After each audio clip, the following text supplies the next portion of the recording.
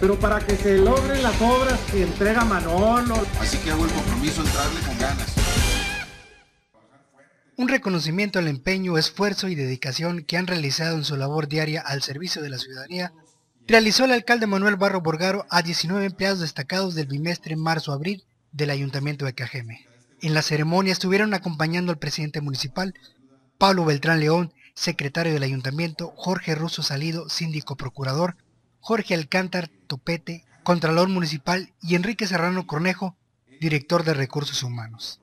En la ceremonia felicitó a los empleados que se han entregado al compromiso de la administración, que es principalmente trabajar por quien más lo necesita, algunos de los cuales fueron Jorge Raúl Domínguez Soto, empleado de la Dirección de Informática, y Lorena Valdés Mendíbil, de la Dirección de Asuntos Jurídicos. Fueron algunos de los trabajadores que recibieron de manos del alcalde un reconocimiento por su trabajo.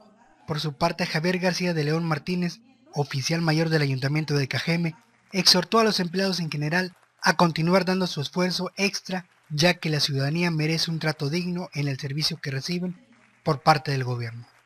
Imágenes de edición de Luis Carrillo para Regional TV, Víctor Gallardo.